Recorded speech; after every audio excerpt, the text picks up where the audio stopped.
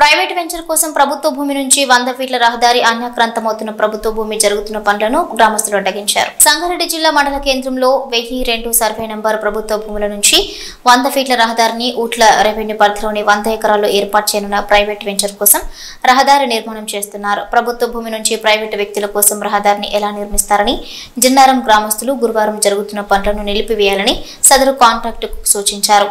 ఈ సందర్భంగా నాయకులు ప్రతాప్ రెడ్డి మాట్లాడుతూ పక్కా ప్రణాళికతో జిన్నారం మండల కేంద్రంలోని ఒక వెయ్యి రెండు సర్వే నంబర్లో ప్రభుత్వ భూమి నుంచి ప్రైవేట్ వెంచర్ కోసం వంద ఫీట్ల రహదారి నిర్మాణం చేస్తున్నారని దీనికి స్థానిక ఎమ్మెల్యే మద్దతు తెలపడం దురదృష్టకరమన్నారు. పది సంవత్సరాల కాలంలో పేదవాళ్ళకు గజం భూమి కూడా ఇవ్వని స్థానిక ఎమ్మెల్యే ప్రైవేట్ వెంచర్ల కోసం భారీ ఎత్తున రహదారిని నిర్మాణం చేసేందుకు ప్రయత్నిస్తున్నారని విమర్శించారు.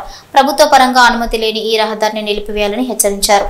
ప్రభుత్వ జూనియర్ కళాశాల విద్యార్థులను అడ్డం పెట్టుకుని ప్రైవేట్ వెంచర్ కోసం స్థానికంగా ఉన్న నాయకులు సహకరిస్తున్నారన్నారు. బడా రియల్ వ్యాపారుల కోసమే జూనియర్ కళాశాలను జిల్లా పరిషత్ ఉన్న పాఠశాలను గ్రామం శివార్లో ఏర్పాటు చేసి విద్యార్థులకు తీవ్ర అన్యాయం చేసిన నాయకులు ప్రస్తుతం జూనియర్ కళాశాల ఉన్న స్థలంలో స్టేడియం రావాల్సి ఉండగా పైభాగంలో ఉన్న వందల ఎకరాలకు రహదారి లేకుండా పోతుందనే ఉద్దేశంతోనే స్టేడియంను మరో స్థలానికి మార్పు చేసిన నాయకులే ఇప్పుడు వెంచర్ కోసం రహదారి ఏర్పాటు కోసం పూర్తి సహకారం అందిస్తున్నారని విమర్శించారు.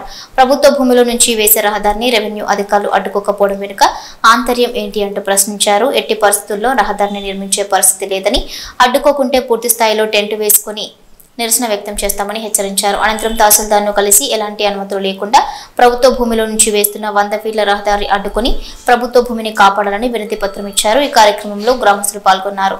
అక్కడ ఇవ్వకుండా తీసుకొచ్చి బడా బాబులు ఉన్న దగ్గర వాళ్ళ దగ్గర అప్పటి నుంచి కూడా డబ్బులు తీసుకొని అక్కడ వ్యాపారాలు చేసుకుంటా చుట్టుముట్టు కొనుక్కొని దీన్ని వ్యాపారం చేస్తూ వాళ్ళ వ్యాపారానికి మలుచుకుంటారు కానీ ఇక్కడ ఉన్న స్థానికంగా ఏదైతే కాలేజ్ ప్రిన్సిపాల్ ఉన్నాడో ఆ వ్యక్తి కూడా మా స్కూల్కి రోడ్డు రాణిస్తలేరు అని ఏదైతే కంప్లైంట్ ఇచ్చుకుందో అది కూడా విరమించుకోవాలి.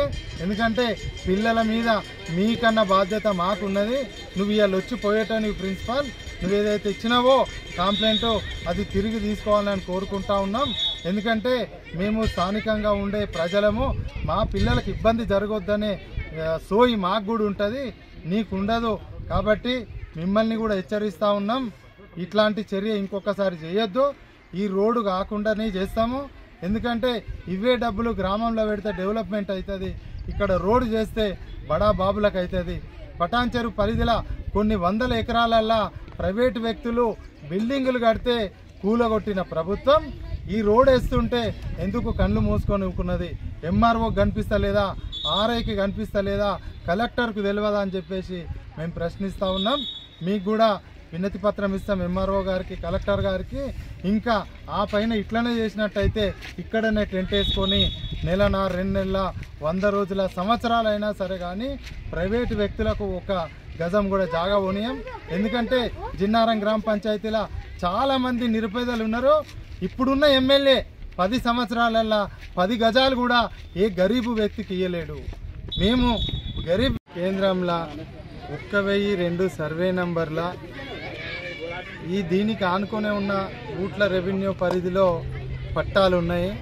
దీంట్లోకి వెళ్ళి ఒక ఎనభై ఫీట్ల రోడ్డును ప్రైవేట్ వ్యక్తులు సీసీ రోడ్డుగా మార్చి వెనుకకు తీసుకుపోయే ప్రయత్నం చేస్తున్నారు దీన్ని గత ఐదు పది సంవత్సరాల నుంచి కూడా ఒక పకడ్బందీగా స్థానిక ఉన్న నాయకులందరూ కూడా వెనుకకు పొలాలు కొనుక్కొని ప్రైవేటు వ్యక్తులకు అమ్మి ఇక్కడ ఏదైతే ప్రభుత్వ జూనియర్ కళాశాల ఉందో ఆ స్థలంలో గ్రౌండ్ కావాల్సి ఉండే. గ్రౌండ్ అయిన వేళలా వెనుకకు పోనికి దారి కాదనే ఉద్దేశంతో దీన్ని మళ్ళీ కాలేజీని తీసుకొచ్చి ఈ వంపులో పడేసిర్రు. ఈ జిన్నారం గ్రామంలో ఉన్న స్కూల్ని కూడా ఏదో ప్రజల మధ్యనున్న స్కూల్ని కూడా తీసుకొచ్చి ఈ అడవిలో వేసి ప్రతిరోజు కూడా విద్యార్థులకు నరకం చూపించిన పాపం స్థానిక నాయకులదే. ఎందుకంటే ఈ స్కూల్ అక్కడనే జిన్నారంలో కట్టినట్టయితే పిల్లలకు ఇబ్బంది ఉండకుండే ఈ ప్రభుత్వ జూనియర్ కాలేజీను ఈ రోడ్డుకు